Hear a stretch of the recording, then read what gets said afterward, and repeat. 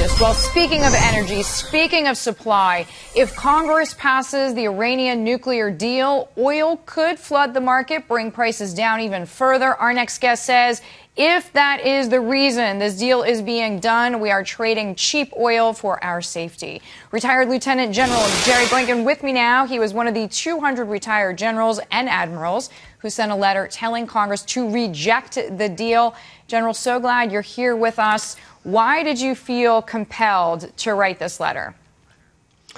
Well, first of all, let me say that this is a bipartisan effort. No one that signed that letter was asked what their party affiliation is.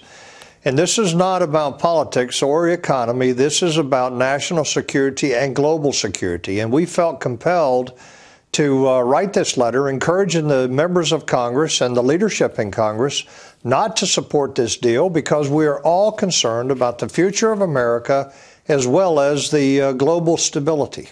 So, how do you think this deal will threaten our security? This is a pathway to uh, Iran having a nuclear weapon.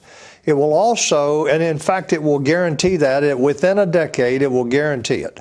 The second thing, though, is that it also puts a huge amount of money, uh, somewhere between 150 billion and maybe as much as 700 billion over a period of five years, into the hands of a rogue regime that has been the largest sponsor of terrorism for decades. And what this is going to do is enable them to fund Hezbollah, Hamas, and even uh, elements like Al Qaeda that will benefit from this money that has gone into their coffers.